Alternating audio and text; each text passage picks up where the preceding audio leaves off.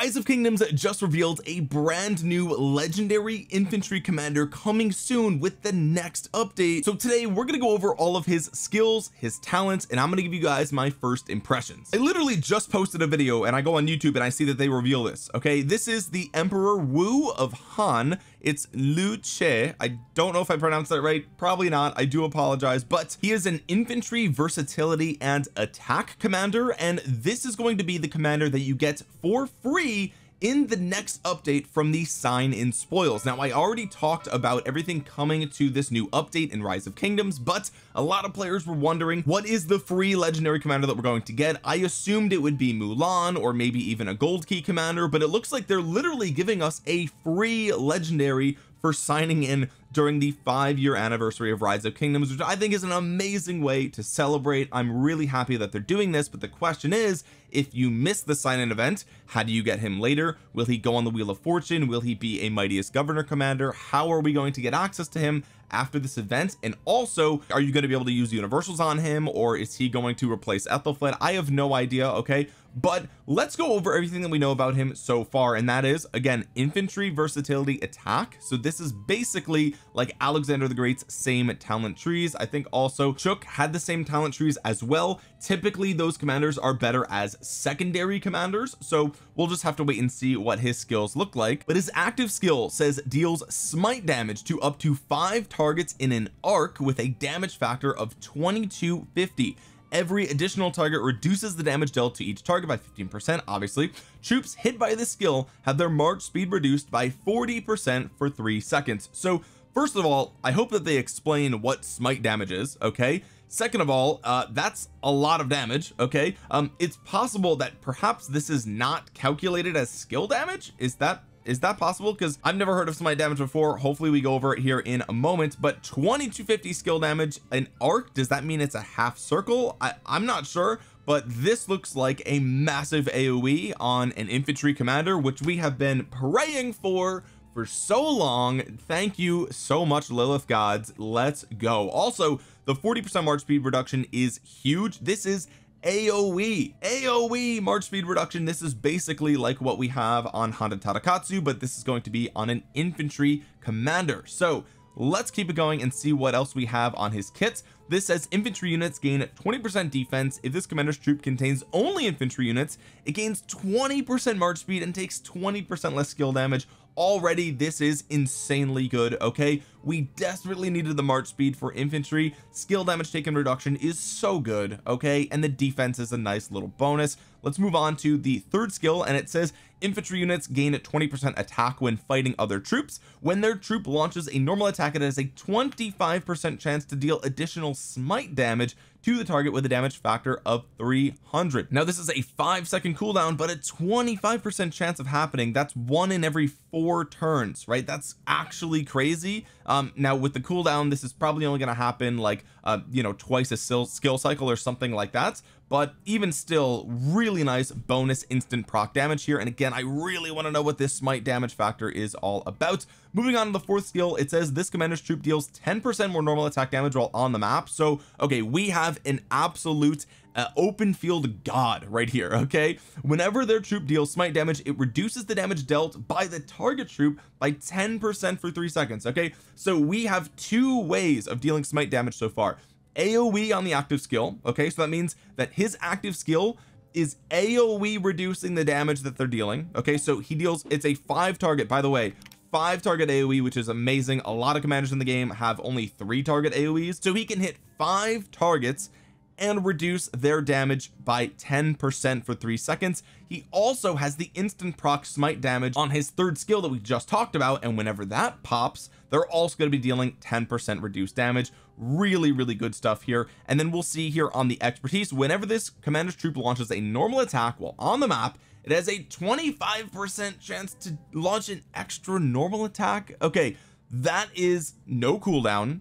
That is probably busted okay? That is it, this doesn't sound like that much okay? But that means one in four attacks is going to deal double damage okay?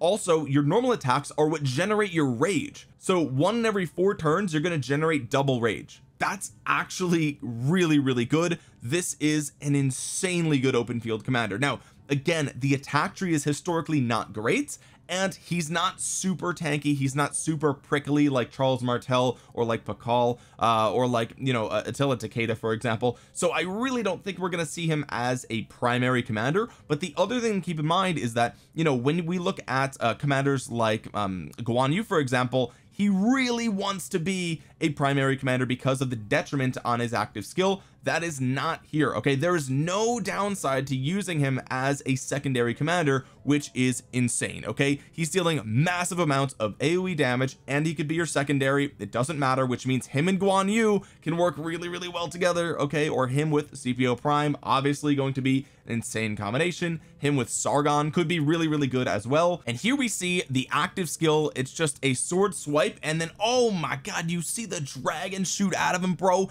The dragon. Oh my god let's see it again. Let's see it again. He swipes him and then boom launches a dragon nuke across the screen. Absolutely insane. What up goose? Now as you can see here you get him after seven days of logging in and you also can get Mulan if you want. Uh but guys you don't want to get Mulan. Just don't get Mulan. This is absolutely a commander that is going to be a must have if you are an infantry player uh, and possibly even as your one infantry march. It could be the case uh, and I think it's actually probably pretty likely that you would want to do um, Scipio prime primary with Luce secondary okay? That's another possibility. Um, you might want to flip those around. We'll have to do testing when he comes into the game but he might just replace Guan for your single infantry army uh, and of course if you're running two or more infantry armies this is still amazing. This is amazing for infantry players and this is probably uh, I mean it could be a bonus right? Like we we are expecting the next cycle to be infantry anyway. So does that mean that we're gonna get basically three new infantry commanders this cycle?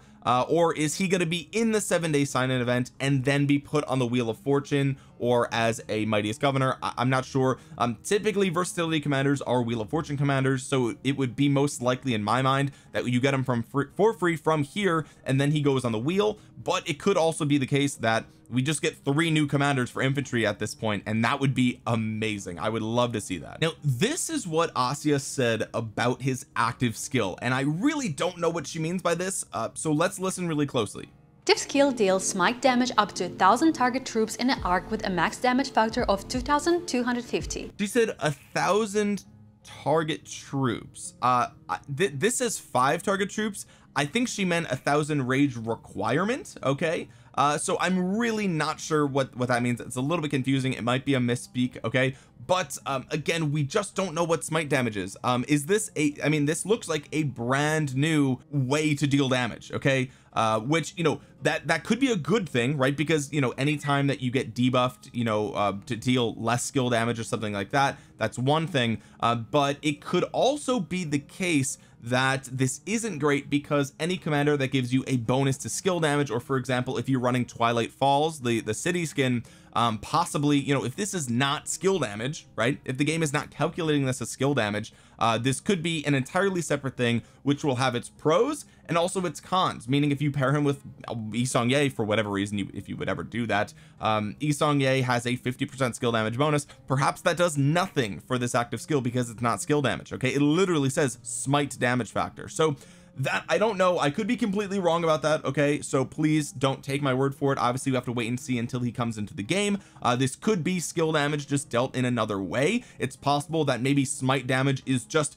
skill damage dealt with ignoring buffs and debuffs or something? I, I don't know okay? There's a lot of possibilities as to what smite damage could be but there's one thing for sure. He looks really powerful and this is exciting because he's free it's new it's really really cool okay? So I'm super happy to hear about this. Um his design is amazing his active skill shot looks really good and and if we take a look here um it is not a half circle but it is a very wide cone okay? This is uh, a lot of times cone shapes are kind of just like right out front. This looks a little bit bigger than your standard cone. Um so it's it's a little bit it looks like it's in between the half circle and regular cone. Uh so I think that's good. This is a very solid AoE size. Uh and I would just I really just want to know what the smite damage is now. Like I, I have to know okay? Now the other thing is look at look at this Minamoto. They it looks like they changed the design of the of the you know the commander plate here uh not really sure what that's all about if that's related. Perhaps he is you know he's at yellow already so possibly he's taking smite damage? I don't know. It's probably more than likely that they just changed the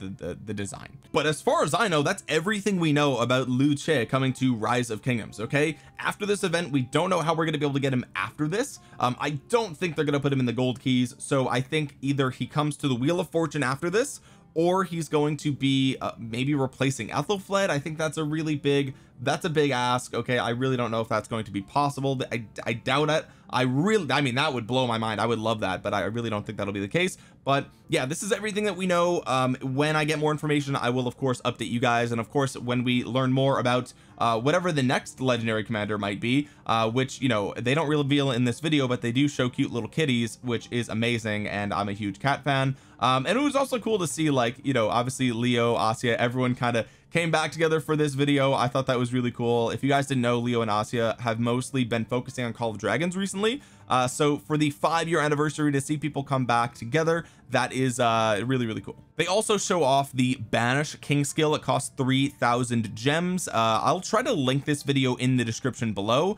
um so that way if you guys want to see everything that that they talk about in this video you can go ahead and check it out. They also talk about the block list and a couple of other things. Also it looks like here we have the zenith of power skin. This is the battles bloom. 15 percent cav health. Oh my god bro oh my god that's so good bro. People are gonna go hard for this. That's insane. I love to see it. Anyway guys if you made it to the end of this video I hope you'll drop a thumbs up on it. It really helps out the channel a ton and it helps get this video out into the YouTube algorithm. I also posted another video today but I had to post this video because I just have to whenever a new commander comes out. So if you missed my other video that I posted today please go ahead and check it out. It's 17 mistakes that people make in kvk and it's very long it's very important and a lot of people are making these mistakes. So please check that video out in the description below. Also while you're down there consider subscribing to the channel and clicking the bell to be notified that next time I upload a rise of kingdoms video so that way you don't miss the breaking news the moment that we hear about it. And also comment down below your thoughts on this brand new free legendary infantry commander. I'm super stoked about it. I would love to hear your thoughts. This sounds like what we've been asking for for infantry. I can't wait till he comes into the game. And with that being said guys thank you so much for watching. This has been Omniarch. I will talk to you guys again soon. Peace